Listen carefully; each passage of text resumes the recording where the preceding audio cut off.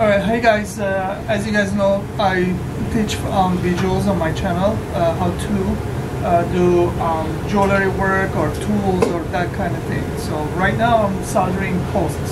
So I thought I'd show you guys how to solder posts if you guys are curious about how to do it. So now I have this small uh, stud earrings, they're, they're stars, and I have this post. So I'm gonna show you guys where to hold the post it's very important where to hold it from. So when I put the post here, you have to not hold from the bottom because you will uh, prevent the post getting hot enough so the solder won't uh, melt on the post. If I hold it from the top, then I leave too much room and that would allow the fire to melt the post because it is very thin and you can melt it. So my uh, my place is this is where I hold it from and this will prevent the to get too hot and it will be enough hot where the solder is uh, melted and it's on the post. So I'm gonna go ahead and put grab a solder here like this. First I wanna put a little bit so this is the thing with this small fire that I'm using you have to not use the tip because the tip is too hot.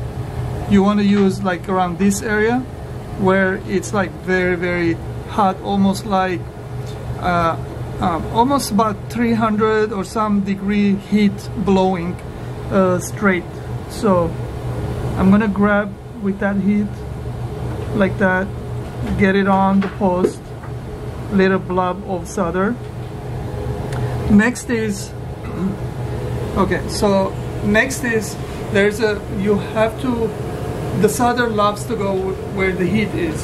You have to make uh, that area that you want to solder uh, the, the, uh, the, solder to go.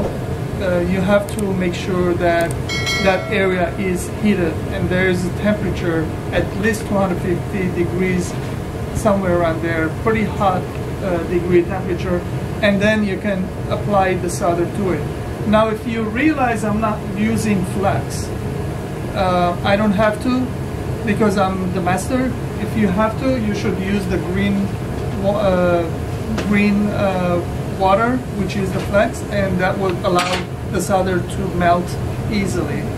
So um, the reason I'm not using it because uh, I'm gonna heat it one time. If I heat it twice, it's gonna make the gold itself dirty and the solder is not going to melt. So um, watch and see how I do just one time. I'm to talk and explain. Alright, so I'm to heat up heat up the bring up the temperature right there. I see the temperature coming up. I'm gonna hold it. I'm gonna keep on heating and that's I'm gonna stay stay don't let go. Now I can let go. If I move if I move it, it, it the solder will break so you don't want to stay there as much as you can until the solder is pretty good dry and then it works so I'm gonna do another one for you guys get a small solder heat it up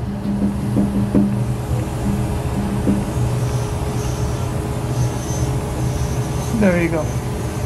Ready. One more.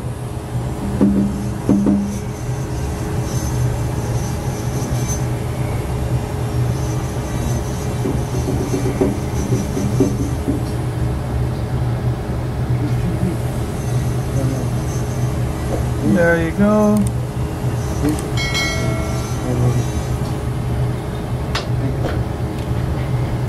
It's a big connection on the valve.